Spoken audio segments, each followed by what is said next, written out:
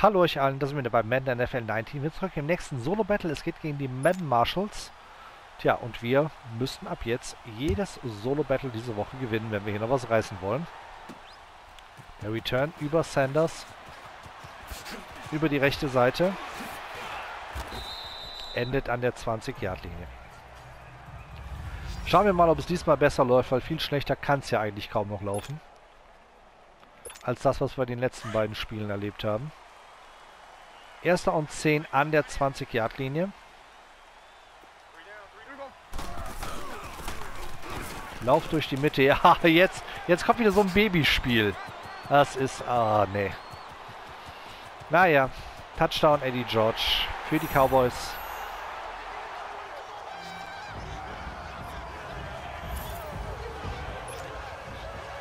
So, der PET ist auch gut und es steht 7 zu 0.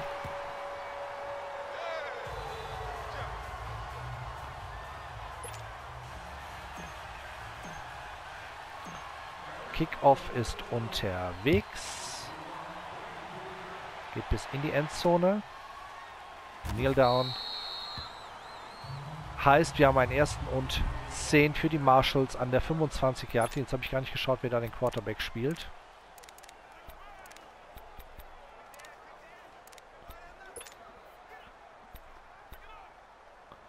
So, Thunder Smoke, erster und 10 ist der Blitz.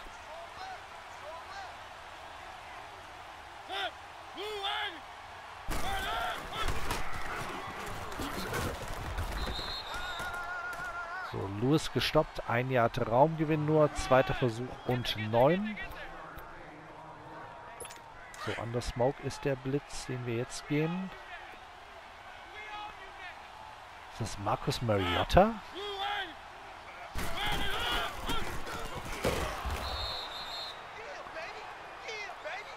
So, dritter und sechs an der 29. Bis jetzt haben wir die Marshalls noch unter Kontrolle.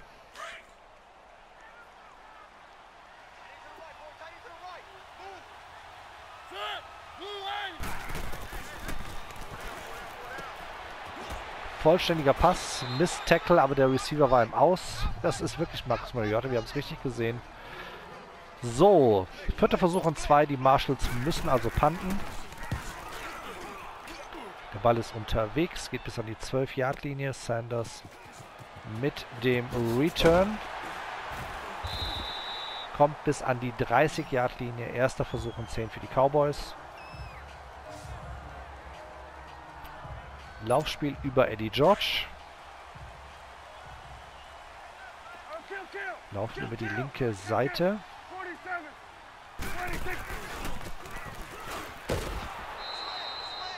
Kein Block. 2. und 11 an der 29-Yard-Linie.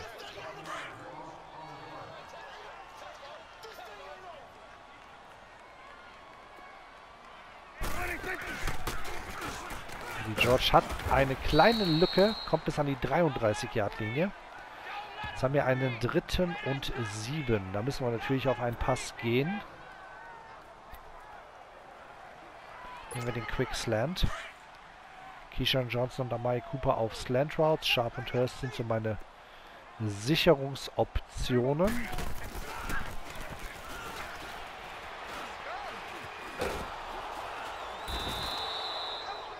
Ich werde etwas irritiert, weil Keyshawn Johnson einfach nicht mehr weiterlief. Der blieb einfach stehen. Deswegen hat mich das etwas aus dem Konzept gebracht. Muss ich gestehen. Die Route habe ich irgendwie anders in Erinnerung. Wir müssen also punten. Jones mit dem Punt bis an die 21-Yard-Linie. Wunderbar. Sanders senzt Sanders um. Erster und 10 für die Marshalls an der 22-Yard-Linie.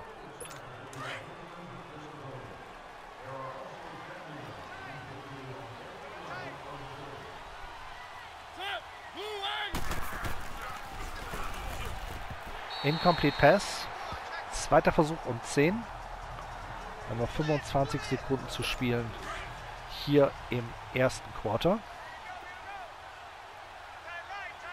Schauen wir mal, was Mariota jetzt da noch macht.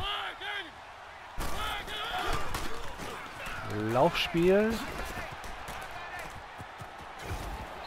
Ich habe den Hitstick-Tackle probiert. Das passiert, wenn der halt nicht funktioniert. Erster und 10 an der 39-Yard-Linie. Jetzt laufen hier schon die letzten Sekunden langsam runter im ersten Quarter. Kein Spielzug mehr. Wir gehen also gleich rüber ins zweite Viertel. Erster und 10 an der 39-Yard-Linie.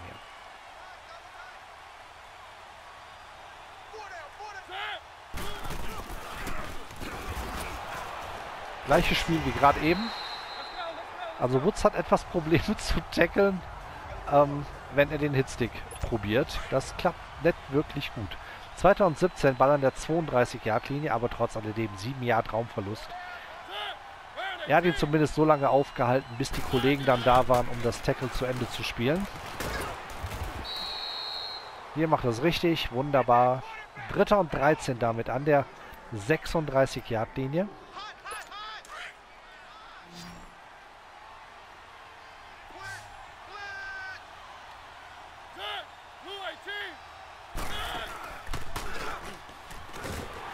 Und das ist ein Sack. Mariota muss zu Boden. Ryan Shazier. Vierter und 18. Wir sehen den nächsten Punt der Marshalls. Aber erstmal sind wir beim Two-Minute-Warning. Die letzten zwei Minuten in der ersten Halbzeit brechen also an. Beide Teams haben noch alle drei Auszeiten. Also die Zeit dürfte hier nicht so das Problem sein. Ball geht bis an die 18-Yard-Linie. Sanders mit dem Return. Versucht eine Lücke zu finden auf der linken Seite. Das gelingt ihm nicht wirklich. Wir haben einen ersten Versuch und 10 an der 35. Die Werte wären schön, stimmen aber leider so nicht. So, wir wollen natürlich mit der Führung in die Halbzeit gehen. Also versuchen wir es mit Laufspiel, um Zeit von der Uhr zu nehmen. Eddie George über die Mitte. Kommt bis an die 47-Yard-Linie. Erster Versuch und 10. So, Lauf über die Außen. Sind ja schon über der Mittellinie. Ball ist an der 47-Yard-Linie der Marshalls. Da kommt aber ein Blitz von der linken Seite. Dann laufe ich doch mal lieber weg vom Blitz, also über die rechte Seite. Und Eddie George kommt da irgendwie raus und ist an der 24-Yard-Linie. Neuer erster Versuch und 10. So, Halfback Dive durch die Mitte.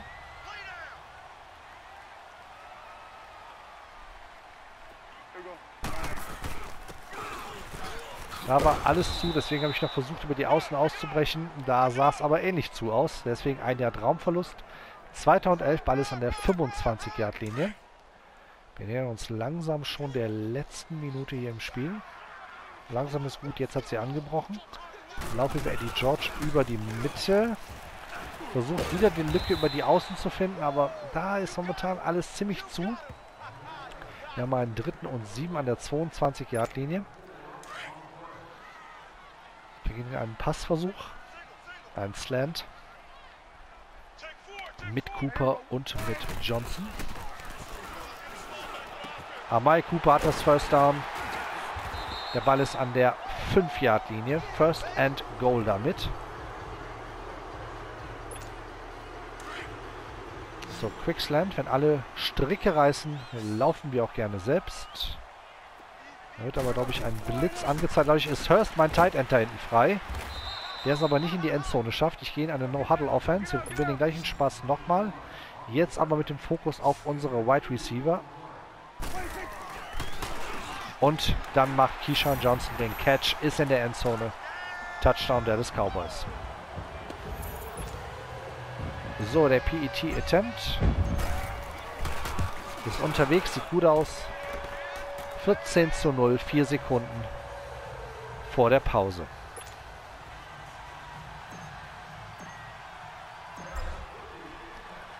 So, Kick ist unterwegs. Geht bis in die Endzone. Da werden wir keinen Return sehen. Vier Sekunden sind noch auf der Uhr. Ich tippe mal, wir werden einen kurzen... Vielleicht noch eine Hail Mary sehen.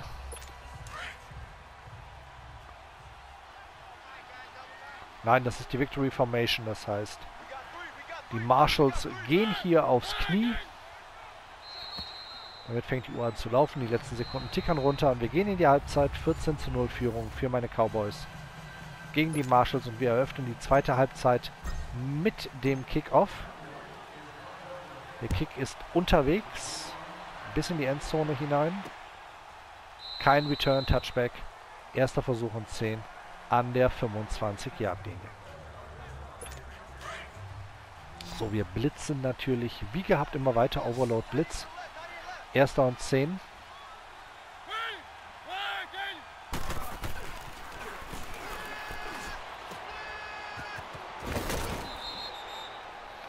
Kein First Down, hat noch nicht ganz gereicht. Zweiter Versuch und 1. Schöner Pass auf Travis Kelsey von den Kansas City Chiefs. Wir blitzen jetzt mit beiden Safeties, also mit Woods und mit James, die nach vorne kommen.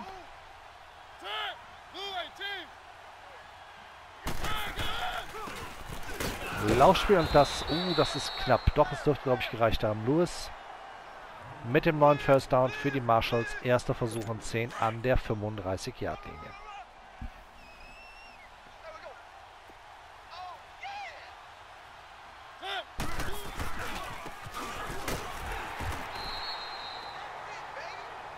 Sanders mit einem Verlust von 3 Yards bei seinem Laufversuch ergibt einen 2. und 13. Ball ist an der 32-Yard-Linie.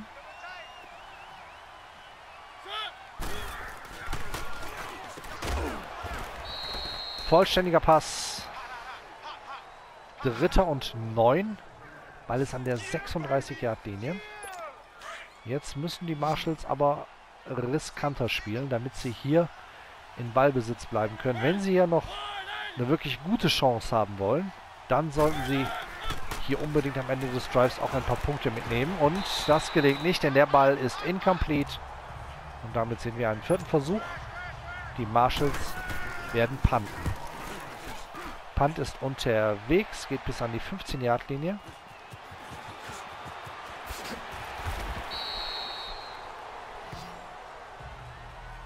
Erster Versuch und 10. So. Das Laufspiel klappt in diesem Spiel doch einfach mal vorzüglich, also bleiben wir dabei. Eddie George mit dem Lauf durch die Mitte.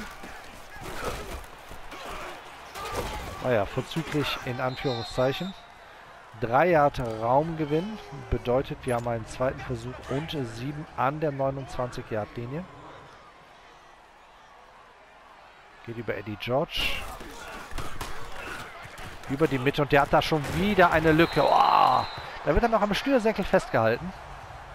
Dreckig, aber regelkonform. Erster und 10. Ball ist an der 45-Yard-Linie. Das Schöne ist natürlich, mit diesen Läufen nimmst du unwahrscheinlich viel Zeit von der Uhr. Schöner Spin-Move von Eddie George. Neues First Down an der 42-Yard-Linie.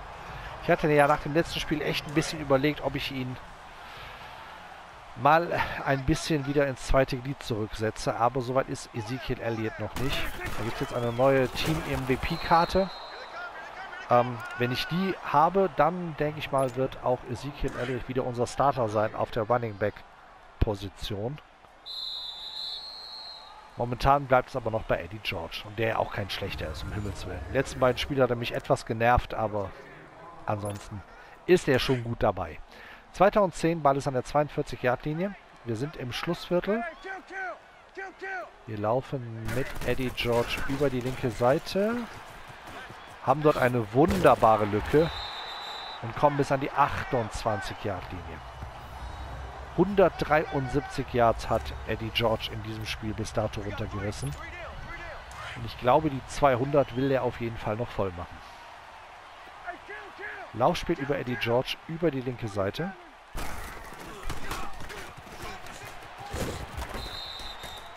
An der 24-Yard-Linie ist Schluss. Wir haben einen zweiten Versuch und 6 an der 24. Wir nähern uns schon langsam dem Two-Minute-Warning. Dann wird natürlich der Faktor Auszeiten hier sehr wichtig werden. Boah, was für ein Move. Eddie George auf dem Weg in die Endzone. Das ist der Touchdown und das ist damit auch die Entscheidung. Hier in dem Spiel kurz vorm Two-Minute-Warning gehen die Cowboys jetzt mit 21 zu 0 in Führung. Der Drops ist gelutscht.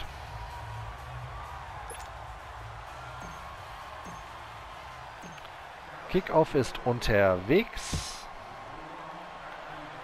Geht bis in die Endzone.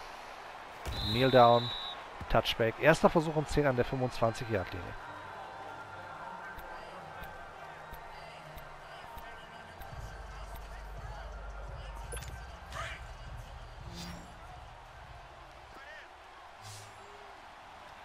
So, ja, 9 Sekunden noch bis zum 2-Minute-Warning. Beide Teams haben noch alle drei Auszeiten.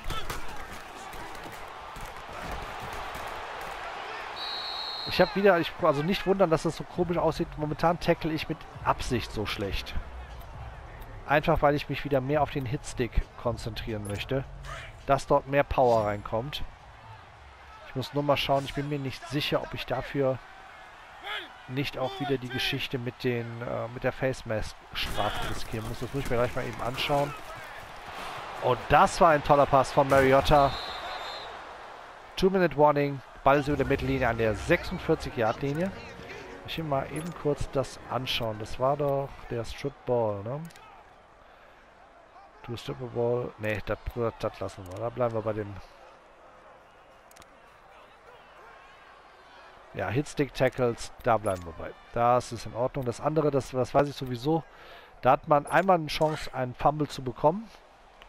Bekommt dafür beim Laufe des Spiels mindestens drei Face Mask Strafen. Und die tun ja immer richtig weh mit 15 Yards. Also deswegen bleiben wir lieber dabei. Second and Inches von der 36 Yard Linie. No Huddle Offense jetzt der Marshalls. Und da geht er zu Boden. Da war wirklich, da war die Line sehr löchrig. Erstes Timeout genommen von den Marshalls. Nummer einen dritten und acht.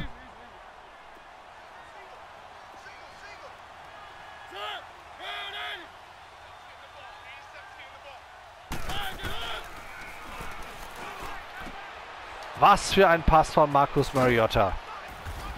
Riesending. Der Ball ist an der 21-Yard-Linie. Also das war wirklich ein Mordspass. Ein ganz toller Drive, den die Marshalls hier jetzt hinlegen. Da stellt sich natürlich die Frage, warum erst so spät? Warum erst in den letzten zwei Minuten eines Spiels? Incomplete Pass. Zweiter Versuch um 10.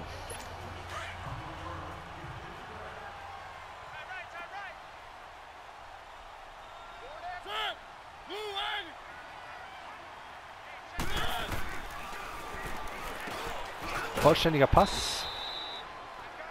Ball ist an der 15-Yard-Linie. Dritter Versuch und vier. Wir nähern uns der letzten Minute hier im Spiel. Oh, was für ein dreister Pass von Mariota. Der zu einem Touchdown führt. Also Respekt. Starker Ball auf Julian Edelman, auf den MVP des Super Bowls. Das war toll gespielt. Das war richtig toll gespielt. Der PET ist unterwegs, der ist gut.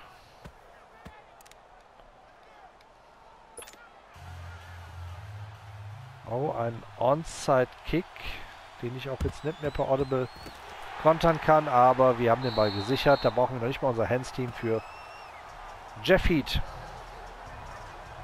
Wir haben noch eine Minute und drei Sekunden zu spielen. Zweimal können die Marshalls die Uhr noch anhalten. Diese Auszeiten möchte ich Ihnen natürlich jetzt gerne ziehen. Blitz von der linken. Dann laufen wir dann doch über die rechte Seite. Und da hat Eddie George eine wunderbare Lücke. Kommt bis an die 34-Yard-Linie. Timeout Marshalls. Second and Inches. Heißt, ich muss ja eigentlich nur die Ballspitze ganz kurz über den First Down Marker halten. Dann haben wir schon ein neues First Down. Das machen wir am besten mit einem Lauf über die Außen. Äh, über die, über die Mitte einfach. Bulldozer, ja, das war nicht so schlau. Ich wäre wirklich besser über die Außen gegangen. Letztes Timeout genommen von den Marshalls. Ab jetzt können sie die Uhr nicht mehr anhalten. Wir haben einen dritten und zwei. Da kommt wieder ein Blitz von der linken Seite. Wir müssen also über die rechte laufen. Und Eddie George hat das First Down an der 23-Yard-Linie. Jetzt läuft die Uhr natürlich weiter runter. Und das ist ehrlich gesagt genau das, was ich jetzt möchte. Wir müssten hier mehr auf Teufel komm raus Punkte machen. Da bin ich auch in den Solo-Battles kein großer Freund von. Außer wenn es gegen die Redskins geht. Lauf über die Mitte. Wir haben schon wieder einen Blitz von der linken Seite. So, zweiter und sieben. Ball ist an der 19. Halfback Stretch. Wir laufen also über die Außen. Nehmen dafür die linke Seite. Eddie George ist unterwegs. Läuft im Safety weg.